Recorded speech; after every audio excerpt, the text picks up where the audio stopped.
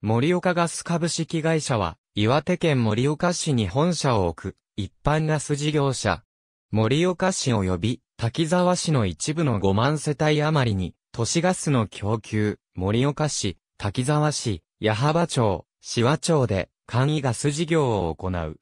2009年の販売量は1724,4000平方メートルで、用途は家庭用49%、商業用42%、残りがその他となっている。滝沢市にある滝沢工場の全面スイカ柄に塗装されたガスホルダーが特に有名である。盛岡市では1904年に盛岡電気会社が設立されて以来電灯が利用されており、ガス灯は使われてこなかった。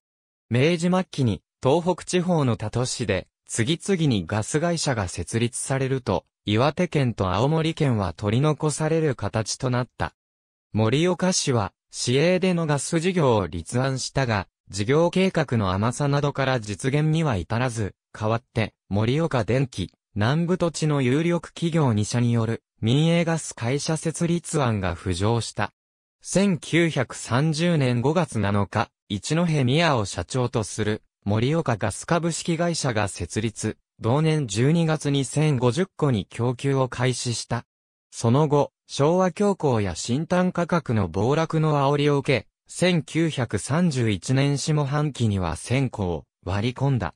1945年8月10日、盛岡空襲により壊滅的な被害を受け、供給停止。1年3ヶ月後の1946年11月に供給を再開した。1962年、石炭ガスからナフサを原料とするガスに転換。1969年9月、供給個数1万個突破。1990年3月には、社名を森岡ガス株式会社に改めた。